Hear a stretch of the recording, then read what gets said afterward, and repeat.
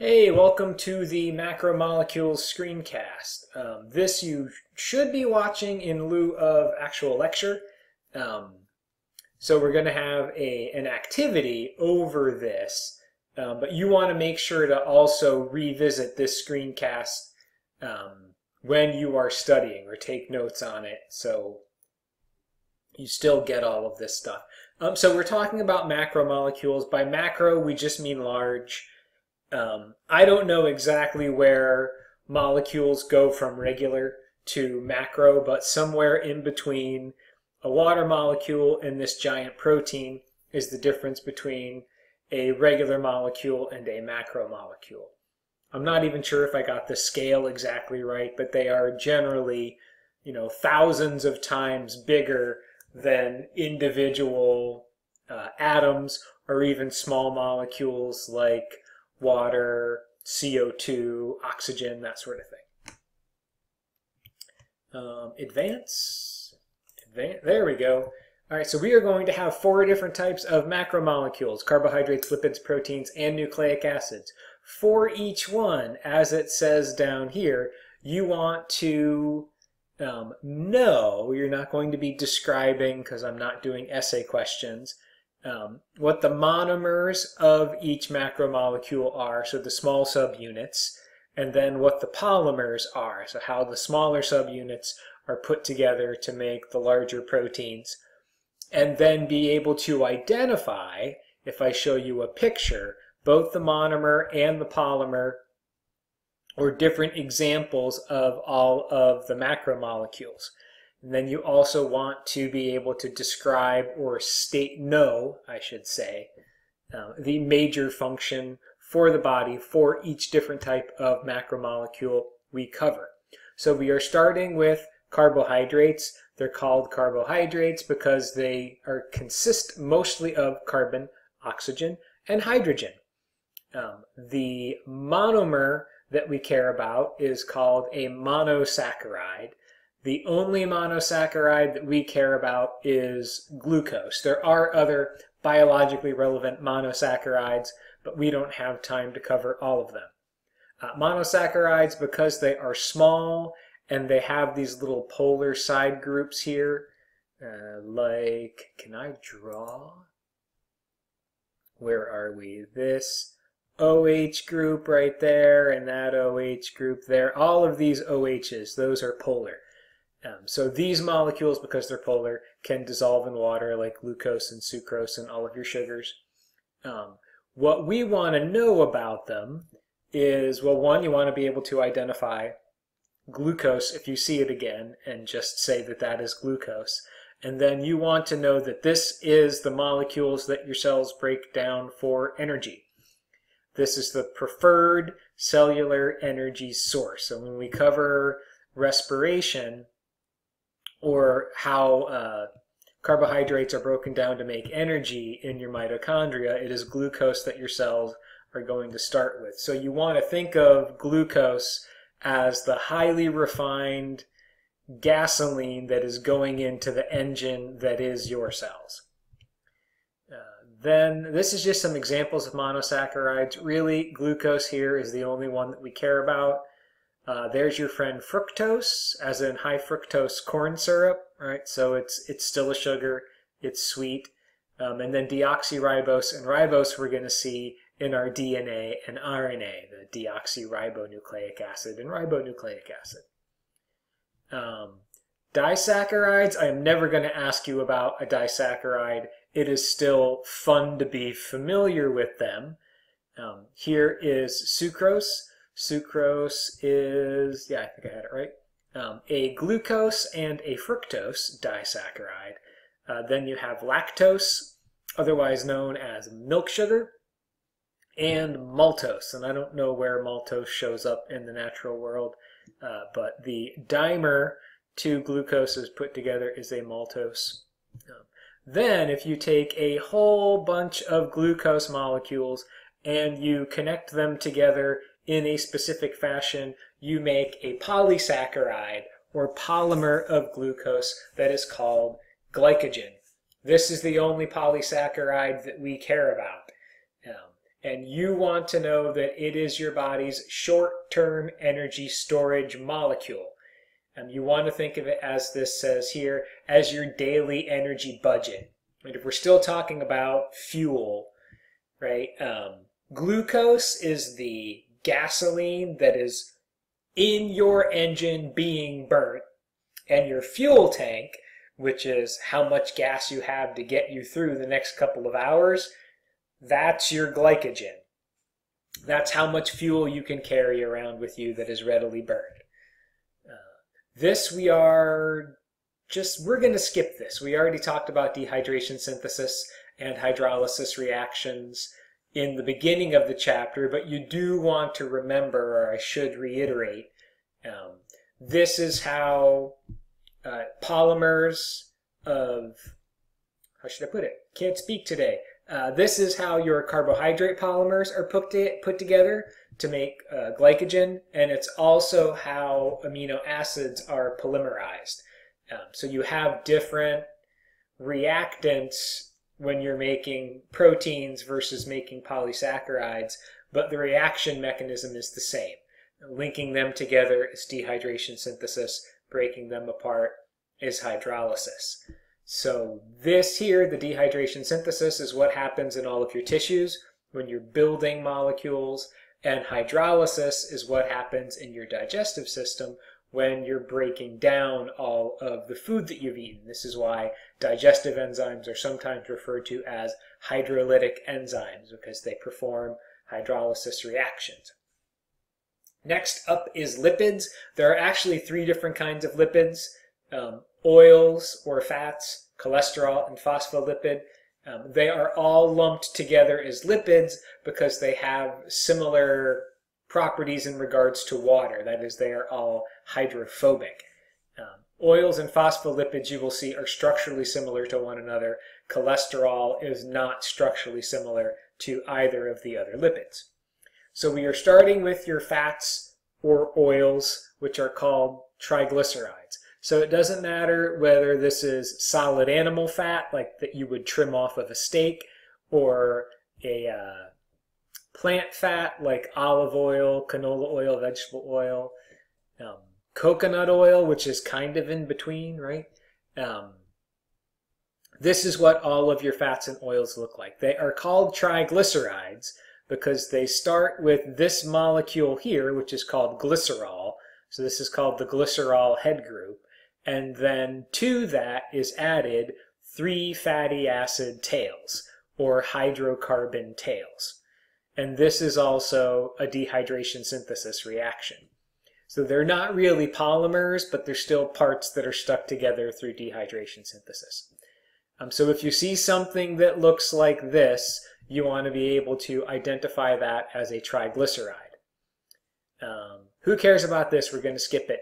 Uh, we don't really have time to do saturated versus unsaturated, and I don't think I ask you about it on the exam. So next up then, triglyceride function. Um, they do do a lot of other things. As it says here, they help absorb lipid-soluble vitamins. Um, this is why it's really not a bad idea to put a little bit of oil of some sort on your salad as part of your salad dressing. If you're doing it right, it's olive oil with balsamic vinegar. There really is no better way to dress a salad, in my opinion. Uh, then your body also uses lipids or fat as thermal insulation and shock absorption. So you have fat pads around your heart to protect it, um, fat pads by your kidneys and around your eyes so that as your body bounces around, these sensitive organs don't bounce around as much. Now, the simplest, easiest thing to remember, and the one that we are going to focus on that I am most likely to ask you about, is that triglycerides are your long-term energy storage. Um, so this is if you have eaten a lot in one day and you're not exercising a lot, right? You're not burning through all of your glycogen. You've got excess calories in your energy budget. Those excess calories get stored as fat. And if you go back and look here at the structure, right, fat is also kind of a carbohydrate, right? It's carbon, hydrogen, and oxygen. So chemically, it's not very hard to convert these fatty acid or hydrocarbon tails into a chemical form that your mitochondria can then break down into CO2 and water and use to make what your cells like, which is ATP. Um, all right, where were we? So we did that. Phospholipids is next. These you will notice look a lot like your triglycerides. So it's still in the middle, that same glycerol head group, but now there are only two fatty acid tails, and instead of a third fatty acid tail, this phosphate-containing head group is added. I apologize that these slides are a little bit fuzzy. Um, I figured out about halfway through the semester why they were becoming fuzzy, um, but I didn't get around to fixing all of them, but it has something to do with how the files get decompressed, and I wasn't managing my files properly. Uh, at any rate, phospholipids, uh, glycerol head group, two fatty acid tails, one phosphate-containing head group. Um, if you were able to see it better, that one's not clear either, um, you would see that this phosphate-containing head group, here's a little negative here. Oh, whoops, I'm writing on the wrong thing. Here's a negative there, and that N has a little positive on it. Um, there are charges on this head group. It is polar. So you have a molecule with one polar end and one nonpolar end, which means you have a molecule that has one hydrophilic end that can hydrogen bond with water and one hydrophobic end. This is why phospholipids are used as the primary ingredient in all of your cell membranes. And this is true across all life form, um, plants, animals, algae. Um, there are life forms that have um, capsules, uh, proteins and carbohydrate capsules, also in addition to the cell membrane, but everything that is alive has a phospholipid bilayer as its cell membrane. So if you look at what you have here, um, this is supposed to be the inside of the cell. Inside of the cell is a watery or aqueous solution. So these phospholipids are oriented with the polar phosphate group facing the inside of the cell where there's water and these phosphate groups are hydrogen bonding with the water. So everybody's happy because everybody can hydrogen bond. And then outside of all of your cells, right? If you are inside of the body, you are surrounded by water. So maybe there's plasma or interstitial fluid out here. It doesn't matter what it is. All of the extracellular spaces are also filled with water. So here you have another layer of phospholipids with the heads oriented towards the watery solution outside the cell and the tails stuck in the middle of the membrane. So you have this little hydrophobic barrier with hydrophilic surfaces on either side of it that separates the inside of the cell from the outside of the cell. And you're going to see when we get to talking about cells, the, what's the word I'm looking for, the set point for what can cross a cell and what can't cross a cell starts with what can and what cannot cross through the phospholipid bilayer.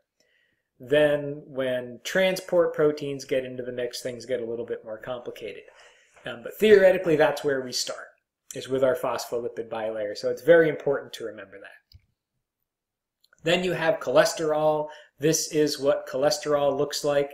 Um, it is a ring structure you do not know this, but these rings are very good at sharing electrons. So electrons kind of just float amongst all of the carbons that are connected together in this ring, which makes them really hydrophobic. They are extremely nonpolar. Even though there's an OH here, that is not enough of a polarity to make this molecule remotely soluble in water. So cholesterol is very hydrophobic because these rings are very good at spreading out all the electrons so that you don't get polarity. Uh, cholesterol does two important things that we are going to function on, focus on. One, it is the precursor, as this says here, for all of your steroid hormones. So your steroid hormones are by definition those hormones that are derived from cholesterol.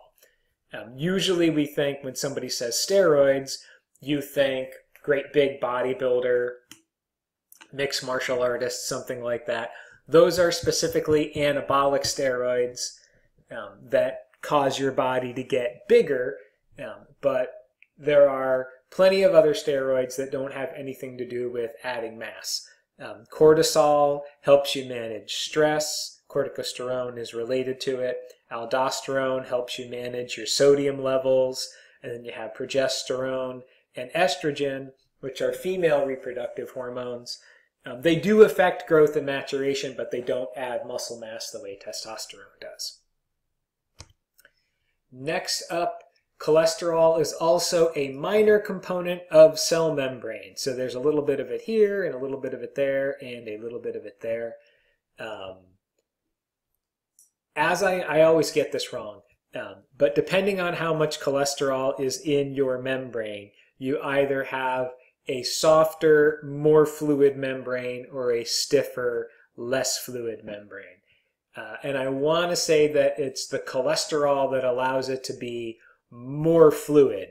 It kind of breaks up some of the interactions between the fatty acid tails so everything in the membrane moves around a little bit more. So those fish that you find in colder waters have more cholesterol in their membrane so that their membranes don't harden right? The way olive oil would if you put it in the freezer. So it's a uh, adjusting the cholesterol as a way of keeping membranes fluid when animals live in colder conditions. Next up is proteins. Proteins are awesome um, because they do all the doing in your body, as we will see. Um, so the monomer of proteins is amino acid. We will go over the amino acid structure in a moment. When you string a bunch of amino acids together, we call that a polypeptide. In its mature state, we call it a protein, but for now, let's just say the polymer is a polypeptide. That is a series of amino acids held together by a special bond called a peptide bond. You don't need to understand that, but you should recognize that word. This is an amino acid. Um, so all of them share a very similar structure or the same kind of structure wherein you have a central or alpha carbon. Each of the alpha carbons will have a hydrogen, a carboxylic acid group, and an amino group. So this is where amino acid comes from.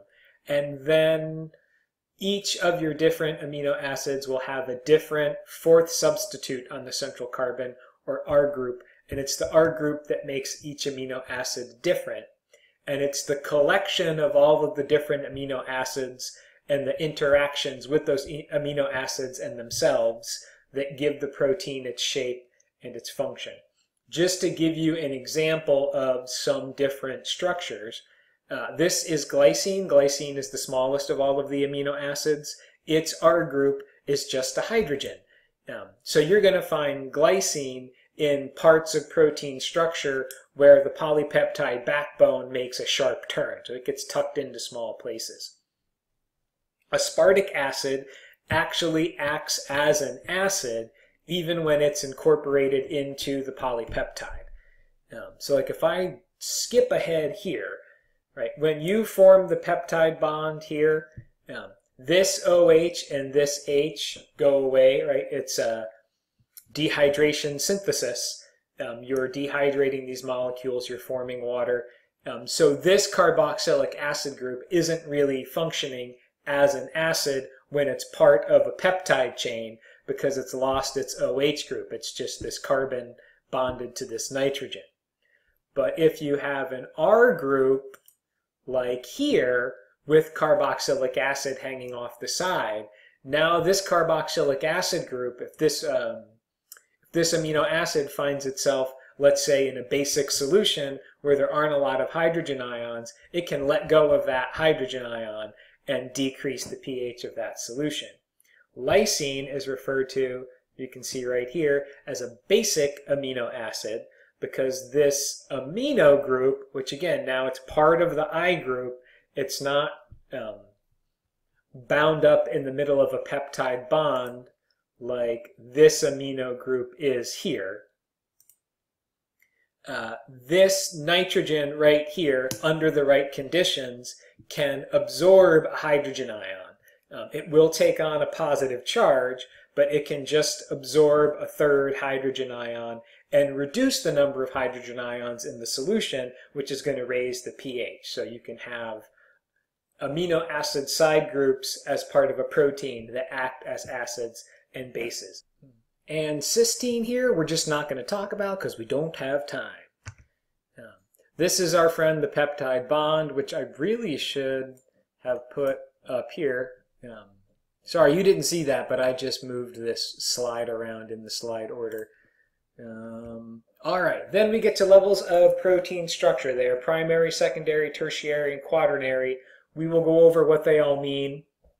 The final mature shape of a protein, um, the shape that the protein has to have in order to perform its function, is called the conformation.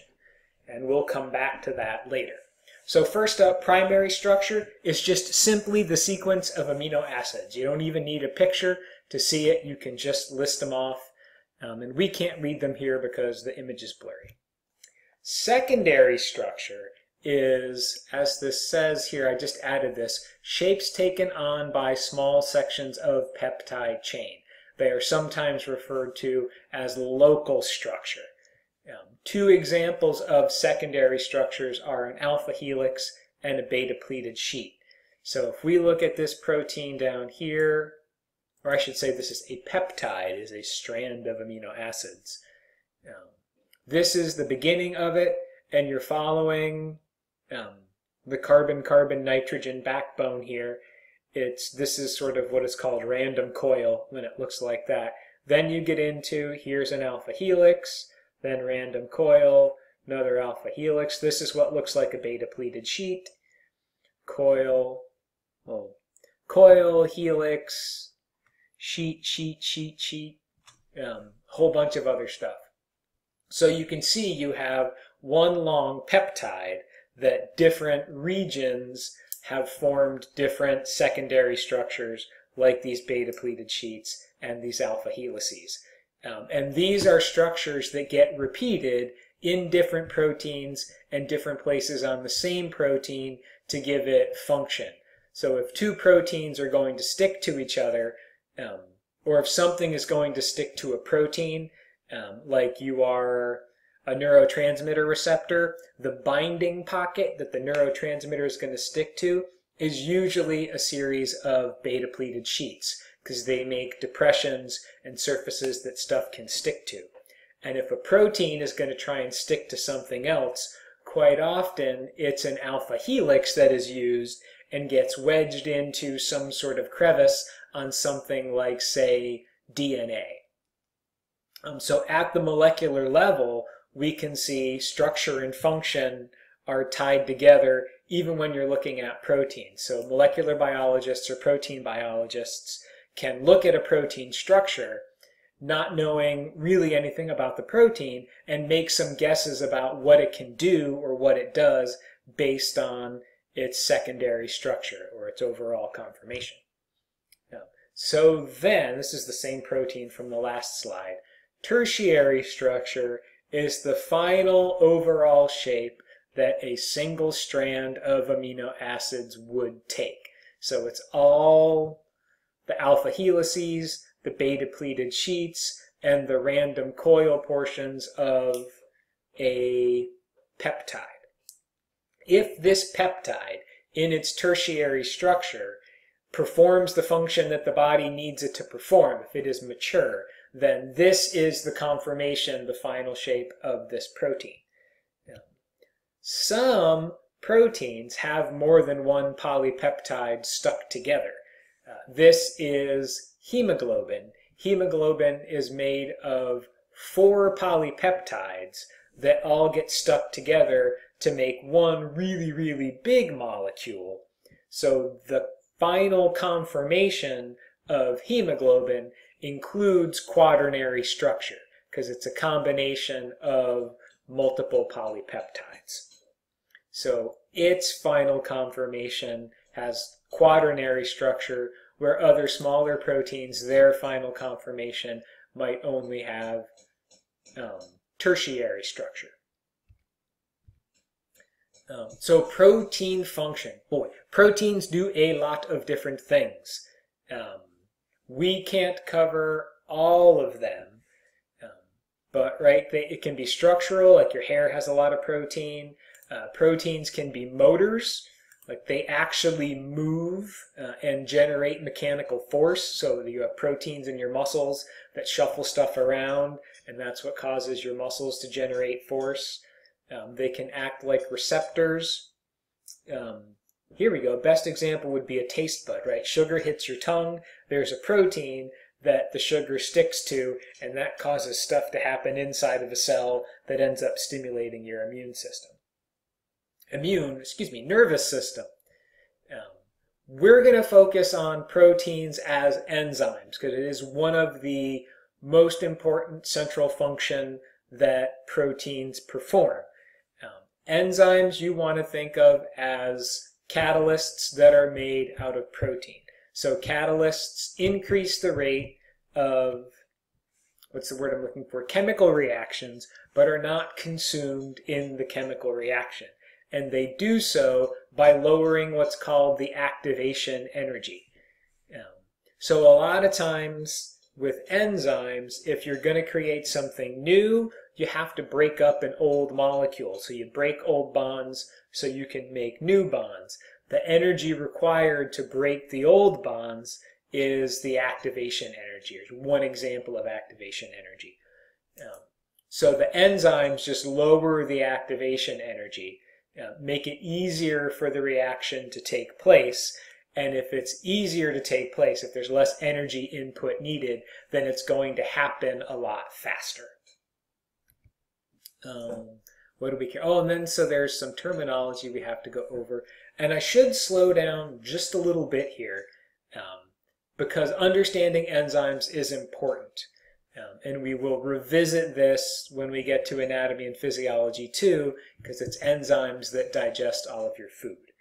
Um, so the two reactants in the chemical reaction that are interacting with one another and the enzyme are called substrates.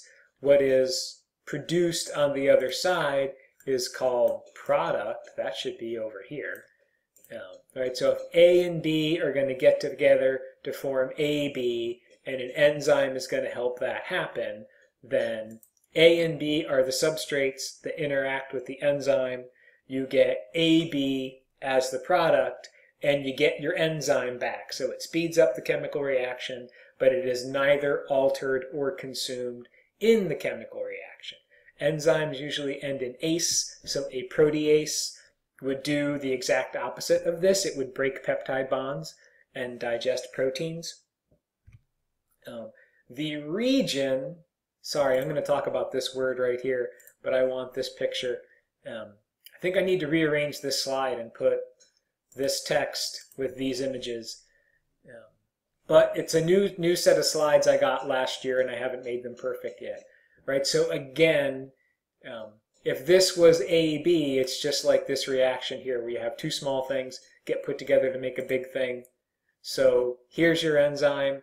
This is the active site.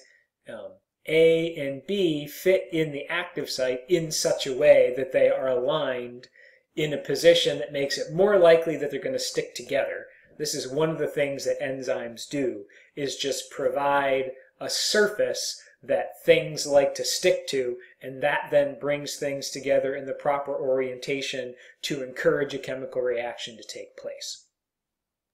So substrates stick to the active site, catalysis takes place, the product is released, and you get your enzyme back with the active site still intact just to give you an example of how important enzymes are. Um, this is a poster um, which I found somewhere on a Creative Commons website, so I'm not violating copyright. Um, if you look here, this is just all a bunch of different biochemical reactions. So all of the black arrows are chemical reactions, and everything that you see here written in blue every one of those blue words is an enzyme that's catalyzing that reaction. So if you zoom way out, right, there's a whole ton of blue in that hugely complicated picture. So really what your enzymes do is control pretty much all of your body's chemistry. It would be like imagine a city with no traffic lights. That is what your biochemistry would be like, right? It would be gridlock, nothing would get anywhere, um, nothing would get done when it's supposed to. Um, but enzymes make sure that all of the chemical reactions that have to happen to promote homeostasis happen where they're supposed to happen and when they're supposed to happen. Um, and this is just some examples, which I will not go into because it's really just too many things. Um, but yeah, every most of what needs to be done inside of your cells is done by enzymes.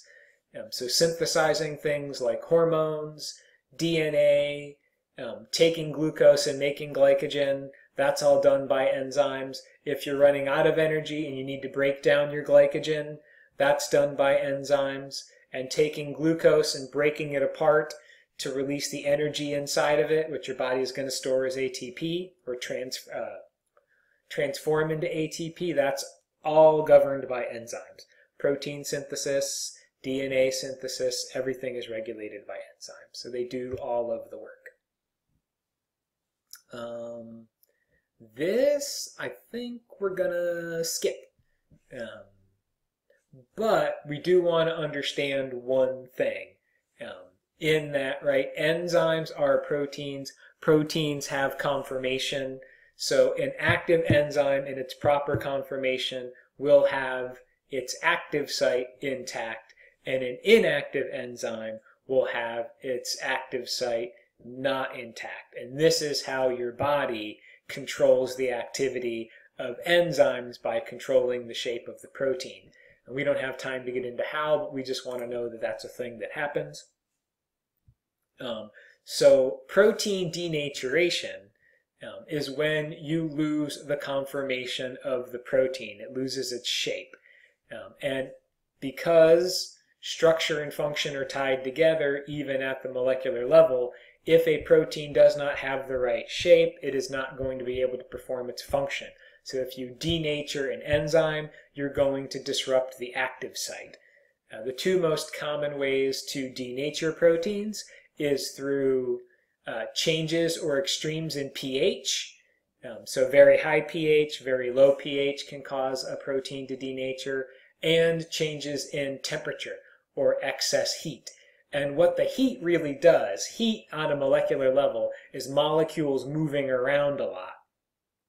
If you have a structure like this and you put a lot of heat into it, all the parts of it start vibrating and it basically shakes itself apart because there are all sorts of weak hydrophobic, hydrophilic interactions um, and uh, hydrogen bonding interactions that hold the protein in this shape.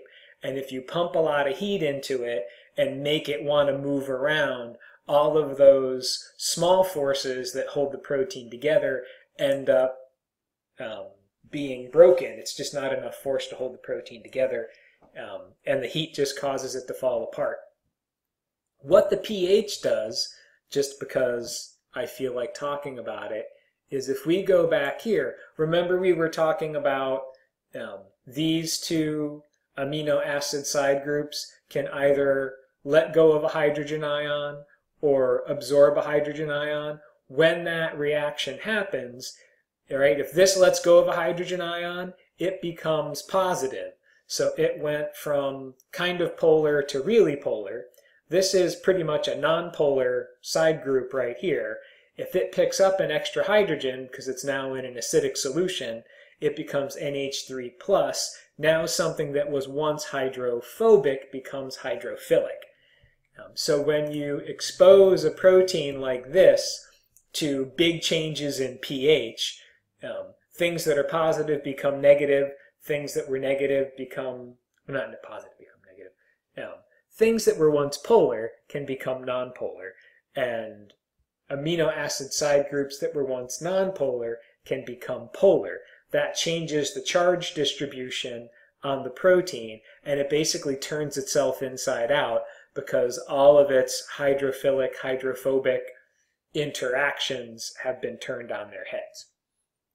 Um, this is why you can cook delicate meats like seafood in acid. If you've ever had ceviche, um, that's usually shrimp or other seafood. If it's really good ceviche, there's a little bit of squid and maybe some sea bass in there. Um, but uh, that's why you can cook delicate meats in lime juice or lemon juice because the acidity in the juice denatures the proteins. Um, sorry, I know TMI, but whatever, we're still going fast because there's no time for questions in the screencast. So next up is nucleic acids. Uh, their structure is a little bit more complicated. Um, we are going to think of the nucleotide as being the basic building block of a nucleic acid. But we also want to remember that a nucleotide contains a sugar, a phosphate, and a base. So this is what the adenine dinucleotide would look like. Actually, a mononucleotide, excuse me. Mono just means it's got one phosphate on it. Um, so this is adenine monophosphate nucleotide. So if on the exam you see something that looks like this, you want to be able to say that is a nucleotide. Um, and I should also say, remember, right, we didn't talk about it, but if you see something that looks like that, say that that is a protein.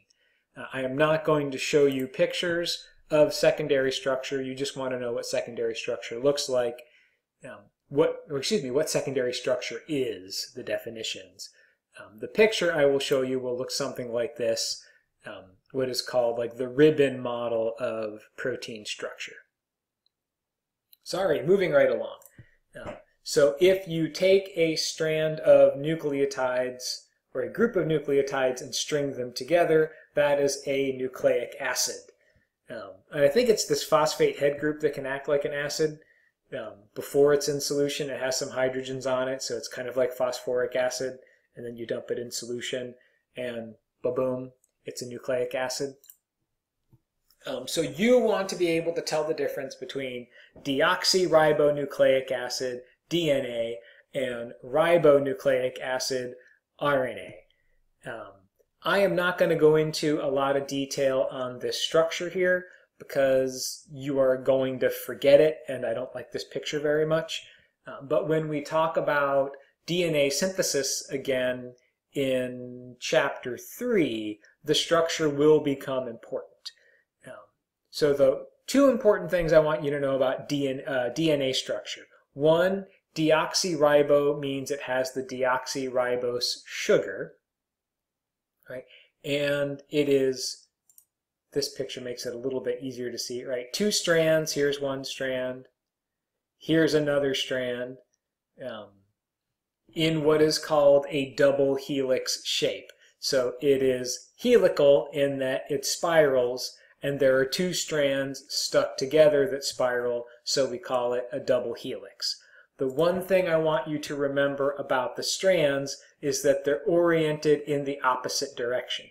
So if we just look down here, here's one strand. This is our what is called the sugar phosphate backbone. It goes sugar, phosphate, excuse me, yeah, sugar, phosphate, sugar, phosphate, sugar, phosphate. So the end of this strand ends in a sugar. The end of that strand ends in a phosphate. So they have directionality to them. Um, so you want to be able to recognize if you see something like this, this is DNA. I will not show you this on the exam because that would be mean. This is just there to show you that the two ends are different. So sugar here, phosphate there. If we look at the other end, this one is phosphate here and sugar there. Um, all right, then you have ribonucleic acid or RNA. There are two major differences between DNA and RNA. First is the sugar involved. In DNA, it is a deoxyribose sugar. In RNA, it is a ribose sugar. That is not an important distinction.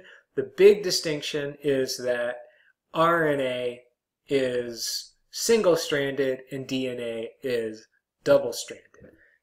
And I also forgot to go over the functions. Um, so if we go back to DNA, um, DNA is what your genes are made out of. Um, so the information needed to put together all of the proteins that do all of the work for your cells is encoded in the bases of your DNA. Um, so if you look at the phosphate backbone, it's just phosphate sugar, phosphate sugar, phosphate sugar. There's no way to encode that. It's the same alternating structure the whole way through it. But the bases, you have four different bases, and depending on what the sequence of bases are, that is where the information needed to assemble amino acids is stored. So the code of your genetic code is located in the bases, the nitrogenous bases of your DNA double helix. And then what RNA is, is just a single-stranded version of the same code. Um, so you still have the same nitrogenous bases with the exception with uh, RNA you have uracil which gets substituted for thymine in your DNA. So DNA is AGCT um, and RNA is AGCU. Uh, then, how many we have? This is our last slide. Uh, we have the special molecule. It's not even really a macromolecule, um, but it is related in structure to DNA and RNA because it is adenosine triphosphate. It is basically your adenine nucleotide with three phosphates on it now instead of just the one. I'm going to start talking about what it does by talking about how it's made. Um, so we said that your cells like to burn glucose, which is true, right? But you can eat fat, you can eat protein, you can eat carbs. Um, all of these different macromolecules are shuttled into some sort of biochemical pathway that ends up converting them into ATP. So what ATP is, if you look on the second line here, is a universal battery for all of your energy requiring machinery inside of a cell. Um, this is not as big of a, this does not sound like as big of a deal as it used to. Um, but back in the day before everything was rechargeable, right, everything took a different size battery. You might have double A, a triple A batteries for your remote control, D cell batteries for your flashlight, that weird 9 volt rectangular battery, which is still in your, what are those things called? Fire alarms. Um, so you might have had four or five different kinds of batteries that you had to stock to keep all of your electronics functioning properly. The way it works in your cells is that nature has decided, well not decided, but it has turned out, um, because it is simpler and more efficient, that ATP is the battery that powers energy, ener energy requiring process that goes on inside of a cell. And it just makes it simple. So you have a central sort of power conversion plant, your mitochondria, that takes all of the different kinds of energy that you can pump into a cell and then converts it all into ATP. Um, so the ATP can float around everywhere and give energy wherever energy is needed.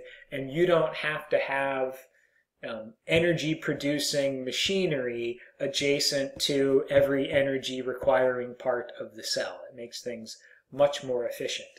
Um, so ATP is really like the energy currency inside of a cell. That is what powers on the molecular level almost all of the energy requiring processes or reactions that happen inside of a cell. Okay, that is 45 minutes. That is not bad. Um, thank you for sticking through to the end. Hopefully you took a couple of breaks because 45 minutes straight on a screencast is a long time.